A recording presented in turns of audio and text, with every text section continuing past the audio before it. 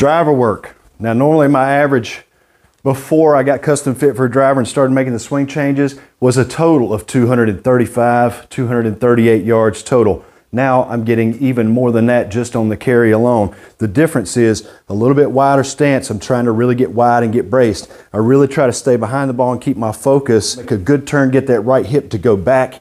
Good wide turn, hands out in front of my torso, never behind like this, always out here. And then I feel like I get to that left side, bust down the door with my hip. I want to break through a door with my hip, pivot over that left side, turn through and fire. Let's see what we get.